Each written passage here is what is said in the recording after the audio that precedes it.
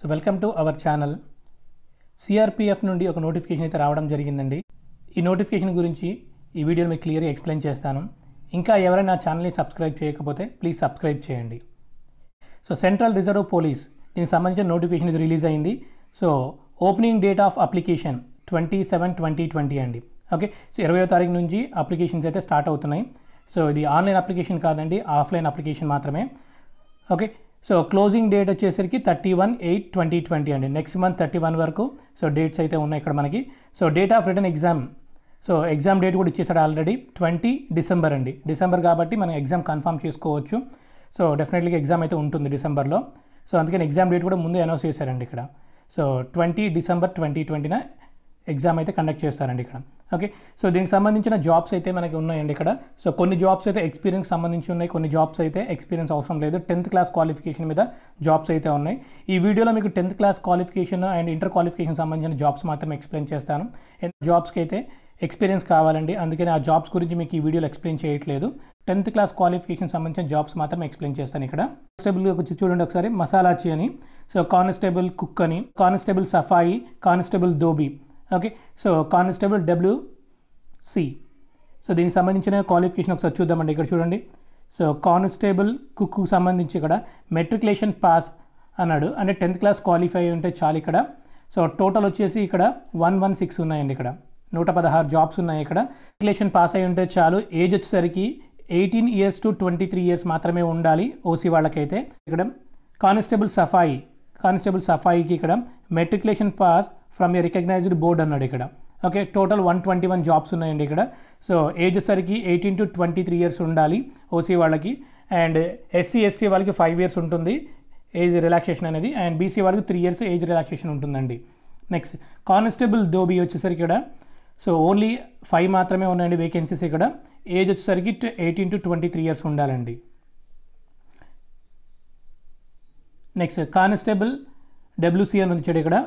Only three vacancy మాత్రమే ఉన్నాయి ఇక్కడ. టేబుల్ టేబుల్ బాయ్ ఉందండి. ఓన్లీ ఒక్క వచ్చి- ఒక్క వేకెన్సీ మాత్రమే ఉంది ఇక్కడ. సో అందుకని చాలామంది అప్లై చేయరు. ఒకటే జాబ్ ఉంది కాబట్టి కానీ మీరు మాత్రం అప్లై చేయండి. ఇంట్రెస్ట్ ఉన్న వాళ్ళు. ఎందుకంటే అందరూ ఇలాగే అనుకుంటుంటారు. వేకెన్సీస్ ఉంది ఎవరు అప్లై చేస్తారు అని. సో బట్ మీరు కూడా మీరు అప్లై చేయండి. ఓకే? సో దీనికి ఏజ్ వచ్చేసరికి ఇక్కడ ఎయిటీన్ టు ట్వంటీ త్రీ ఇయర్సే ఉండాలండి ఇక్కడ. ఓకే? సో ఇవన్నీ గ్రేడ్ సికి సంబంధించిన జాబ్స్ అండి ఇవి ఇక్కడ. సో రిమైనింగ్ ఉన్న జాబ్స్ అనేవి ఓన్లీ ఒకటి రెండు మాత్రమే ఉన్నాయండి. అందుకని ఆ జాబ్స్ గురించి నేను చెప్పట్లేదు ఇక్కడ మీకు. ఓకే చూడండి ఏజ్ రిలాక్షన్ వచ్చేసరికి ఎస్సీ ఎస్టీ వాళ్ళకైతే ఫైవ్ ఇయర్స్ ఉంది. ఓబీసీ వాళ్ళకి త్రీ ఇయర్స్ ఉంది ఇక్కడ. ఎక్స్ సర్వీస్ మ్యాన్ కూడా త్రీ ఇయర్స్ ఉందండి ఇక్కడ. ఓకే సో అన్ని కేటగిరీస్ వాళ్ళకి ఇక్కడ హైట్ వచ్చేసరికి మేల్ క్యాండిడేట్స్కి వన్ సెవెంటీ సెంటీమీటర్స్ ఉండాలండి.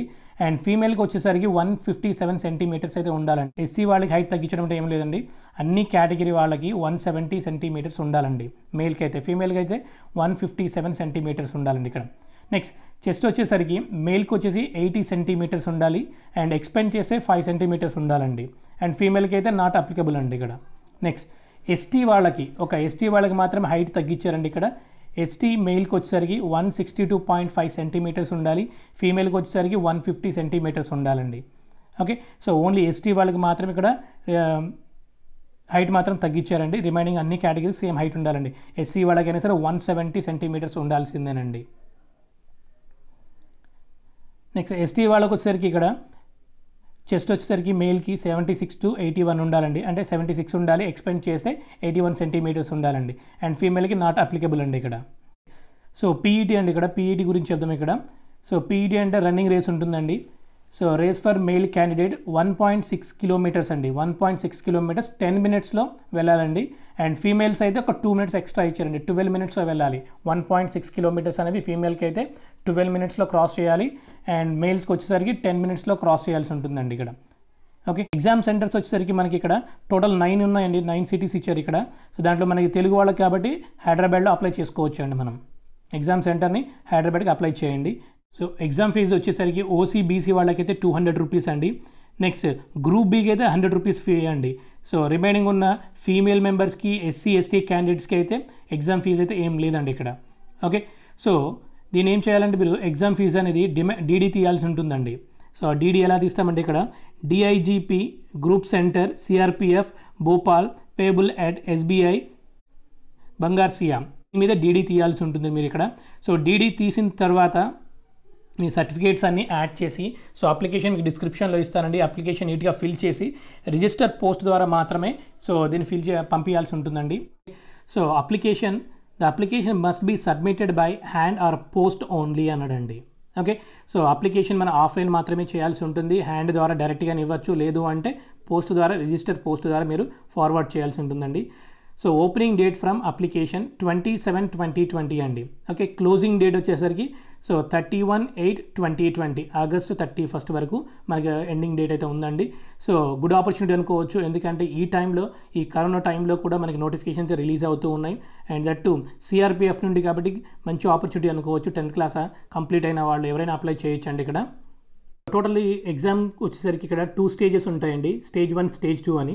స్టేజ్ వన్లో వచ్చేసరికి మీ ఫిజికల్ స్టాండర్డ్ అయితే ఉంటుందండి. మీ ఫిజికల్ అంటే చెప్పాను కిందాక సో వన్ పాయింట్ సిక్స్ కిలోమీటర్స్ని టెన్ మినిట్స్లో అయితే మేల్ క్యాండిడేట్స్ అండ్ ట్వెల్వ్ మినిట్స్లో అయితే సో ఫీమేల్ క్యాండిడేట్స్ క్రాస్ చేయాల్సి ఉంటుంది. ఫస్ట్ ఫిజికల్ స్టాండర్డ్స్ మొత్తం కంప్లీట్ అయిన తర్వాత స్టేజ్ టూ ఉంటుందండి. స్టేజ్ టూ ఏంటంటే ఎగ్జామ్ ఉంటుందండి ఇక్కడ.